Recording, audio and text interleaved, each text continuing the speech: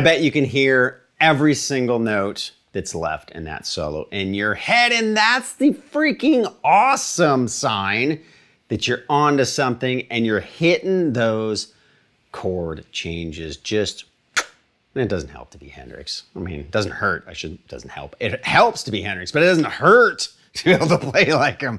Okay, so welcome, welcome, welcome. I'm Brett Papa, and today we are going to go over something that seemed to have a great effect on a lot of people.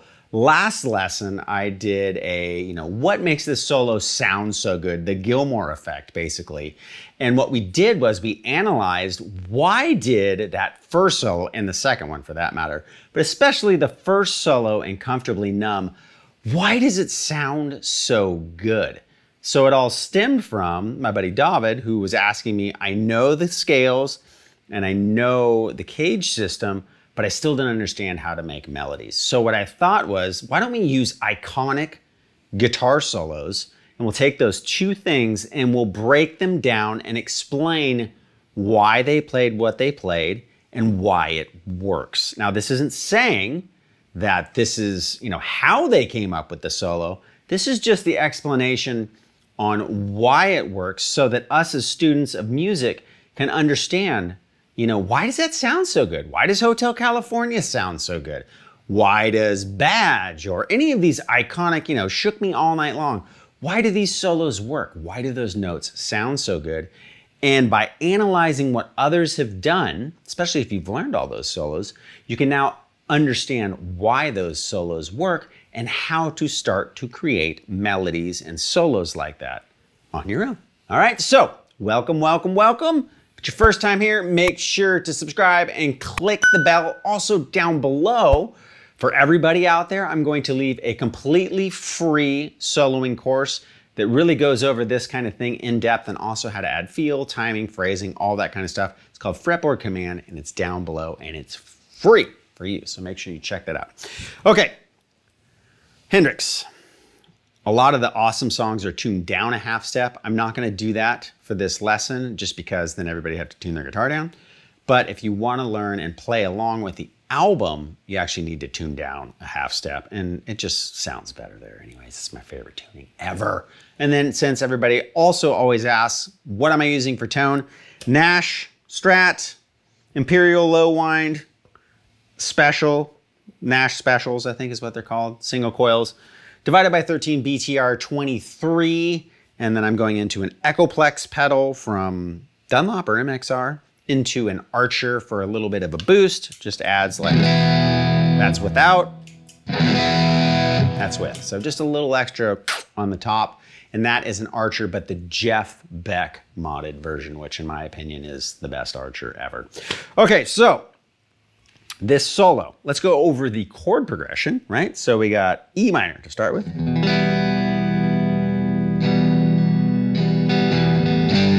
G, A minor, E minor, B minor, cool little walk down to A minor, to C. G, F, C, D. Okay, so all together again, E minor. G, A minor,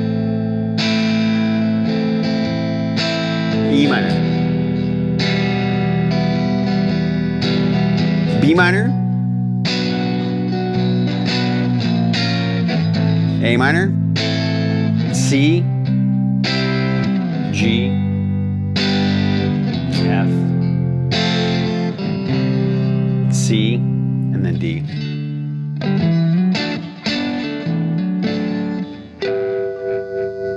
Okay, so Solo starts like.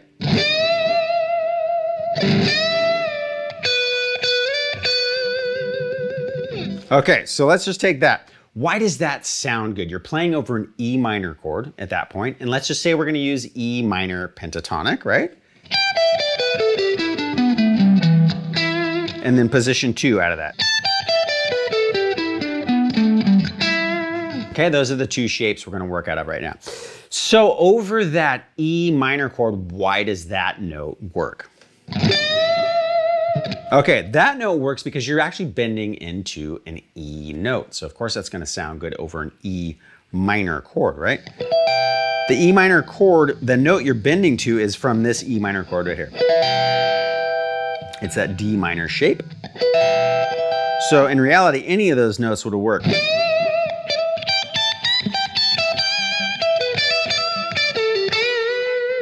any of that kind of stuff would work because you're playing right out of this chord shape. So you got. Now when he goes down to that note, that note also works and it's out of this chord shape. Okay, so you're now in position one of E minor pentatonic. Right? So that note is the fifth of the chord. Okay, and so that's why that note sounds awesome. Now you got, so you got,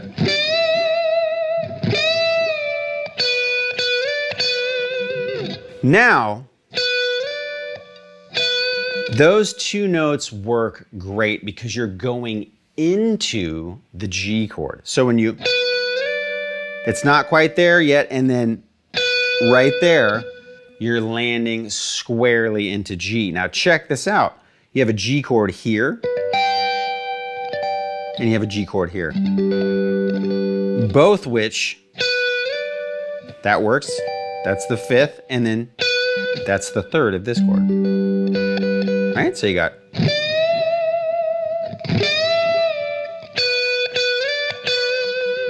Now this next lick definitely going to work over a G chord because again, you've hit two of the notes from the chord, right? You went that note and then that note. I mean, you can't go wrong over a G chord hitting the G note. So this bent and released into the fifth of the chord, that hits your one of the chord or your root. Now, at that point, you're coming in in this A minor. Right? So dropping in right there, you're hitting the note from an A minor chord. Right? Now, it's still going over that A minor chord, and these still sound good, even though they're not chord tones specifically, right? So you don't always have to hit the chord tone, although he is releasing into that note. So when he goes, right? That note right there, again, is from the A. So it's enough of a like, oh, there's an A note. Sounds good, right? So now that, when you go, now you're dropping back into that E minor chord, right? So you've gone E minor.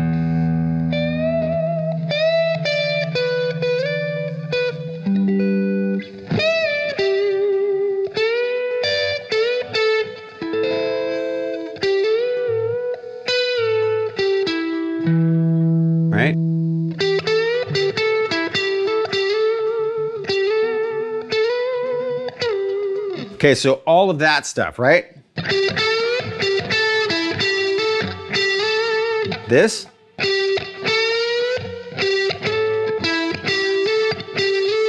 Why does that sound good over that E minor chord? Okay, so when you bend that note up, playing out of that E minor chord shape again, we went over in the beginning.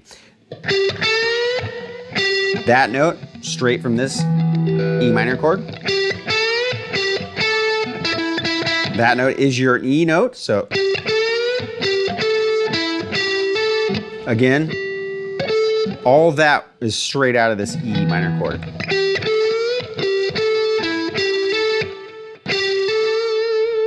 Okay, now at this point, we're coming up to where that uh, B minor walk down to A minor to C all happens, okay? So, E minor.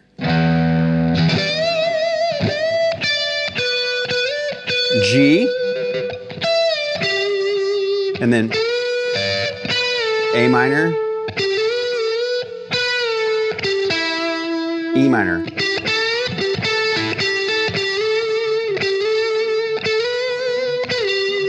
All that happens over this.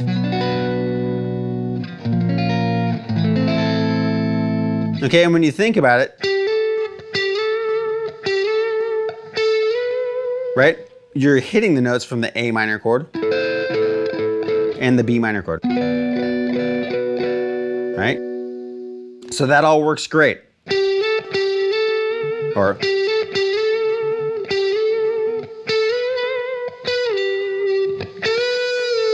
Okay, now this.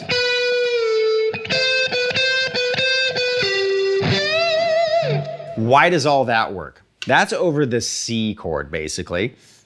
And when you think about it, you've got a C here. Okay, so.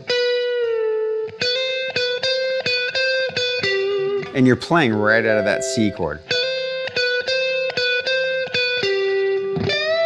That bending that note, you're hitting the third of that C chord. Okay? And then you're gonna come into the. Right? Now, this part, when you go to the G, you're playing out of E minor pentatonic, but it's also G major pentatonic. Now, when you do this, right, that next part,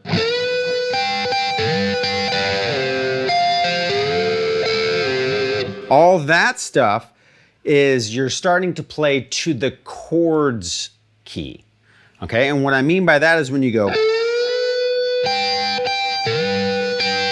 okay, that is bending up into the third of the G, and then you're hitting the root of the G.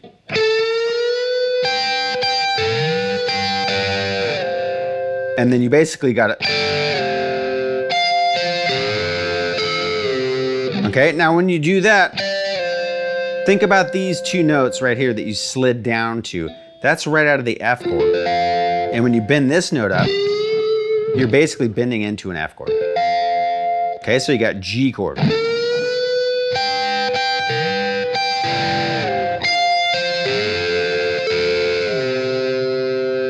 Okay, now the next two chords, you got C and G. Okay, so you got, and you're skipping over the B string, right? So you're bending up G12, or G14 rather.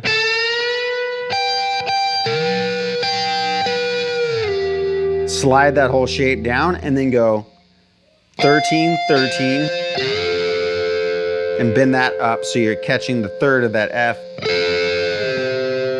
and then hit it again, right? Now this next part,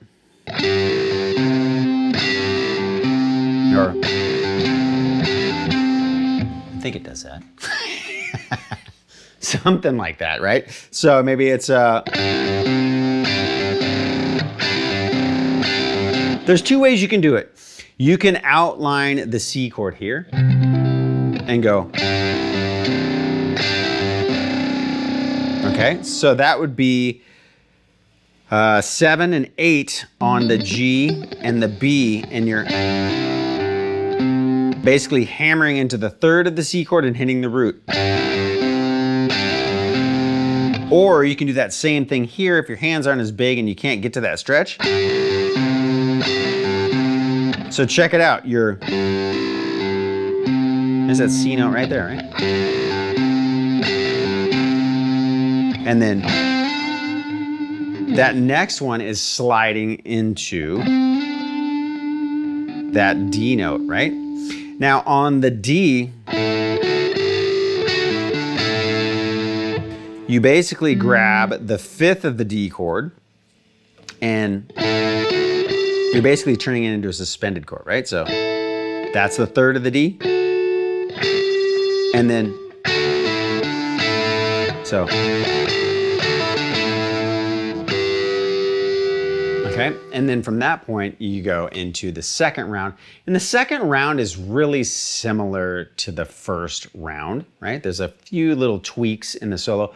What I recommend is I was able to find the solo on its own, an isolated track, and you can really hear what's going on. Now, again, I, I may not hit every note perfect, but that's not what this is about, right? If you want to learn that, I've got a lesson on the video anyways, or the song, I should say.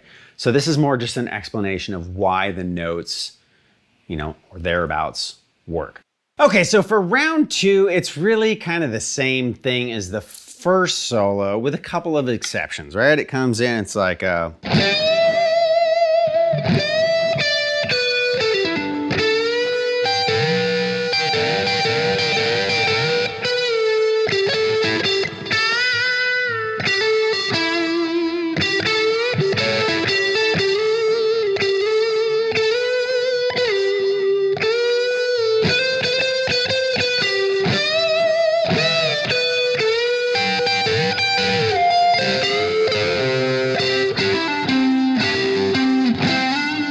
and then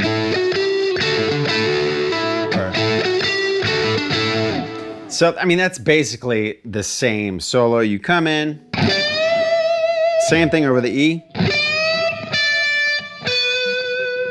and then he just adds in a different lick. Now when you go.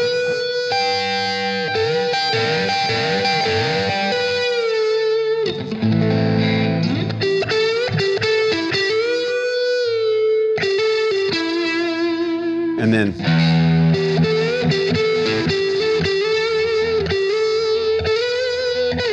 again, that same thing. Right?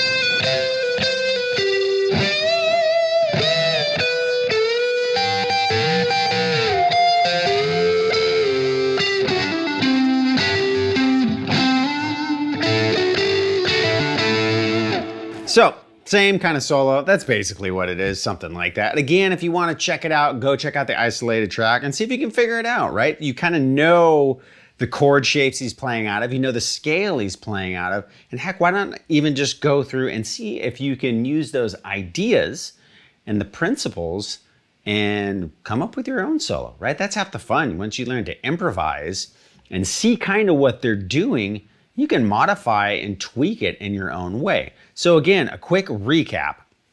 What we're gonna do is over that E chord, I'll give you a couple of options for each chord to think about, right? Over the E minor chord, you have here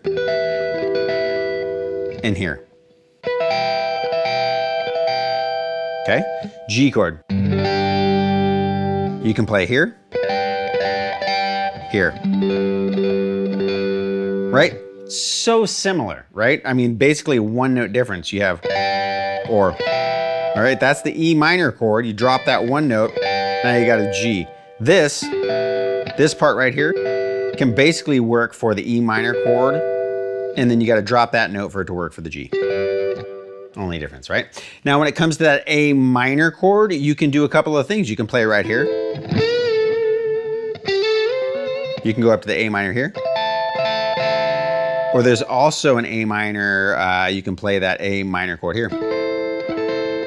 So, right, and you can drop down to, right, you can go, it'd be a, right, you can play it there. So you got A minor here, A minor here, or A minor here. E minor chord, right, you can play, right there. You can play here. Or you can play here. Now, when you get to that B, you can, right? Those two notes are right out of that B minor chord. Now this note you could use too, but it's jumping out of pentatonic.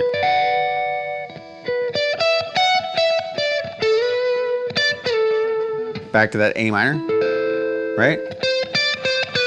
Now you could also use this note in the A minor chord. It's not in the pentatonic, But that doesn't mean you can't use it because it's in that chord. Right?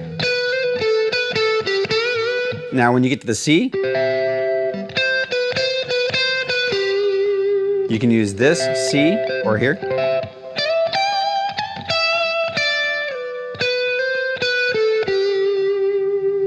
Now, when you go to the G, right? So you got, you can turn this E minor pentatonic into the major. And just got to resolve to the front side of the chord. Or bend into the back side. Drop down to what would be D minor pentatonic or F major pentatonic, and you can play that chord here.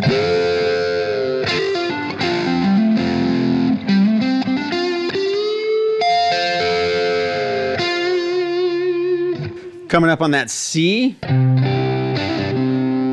do those double stops, you can work out of that shape, or here, or, and then just scoot everything up to do the, or, or,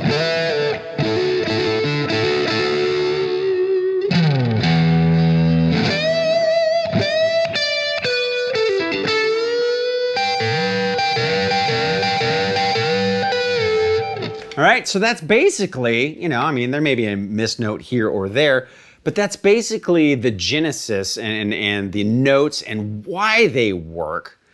You know, you can, the genesis meaning you can see those chords inside the scale. That's a starting point for you to solo, right? Learn the solo maybe note for note. Listen to it again. There's an isolated, killer isolated track of just the solo so you can figure that out. But then again, go through and analyze why it all works and then see if you can create your own melodies. Take, you know, uh, 75% of the solo and do it that same way and modify that last 25% in your own way. Or, since you know how it works, now go check out the John Mayer way or the Stevie Ray Vaughan way of playing it and see what they did and see if you can analyze, oh, okay, here's what they are doing, playing out of those same chord shapes or scale shapes, but maybe they change the notes around and it still sounds amazing. So if you guys want an iconic solo broken down, again, leave it in the comment section below. No like 30 minute solos, I don't have time to do that. But if it's like, you know, a good 15 to 30 second solo that really is just memorable and you gotta know why it's working. Leave it in the comment section below and I'll see if I can get to it. I'm gonna try to make this into a series. There's gonna be many more Hendrix examples of this. Lots of great Clapton stuff and Gilmour stuff, obviously, coming that way too. I've been thinking about some AC/DC, but what are your thoughts? Leave them in the comment section below. And then if you're new here, make sure to subscribe, click the bell to be notified when the newest videos come out. And also everything you see here, whether it's me or the guests I bring in here, it's all made possible by your support at brettpapa.com. I got a membership there that's got 700 videos to help you get better on guitar. Plus, you get 25% off anything I do with any other featured instructor on the site. You guys are amazing. Thank you so much for your continued support. We'll catch you next time.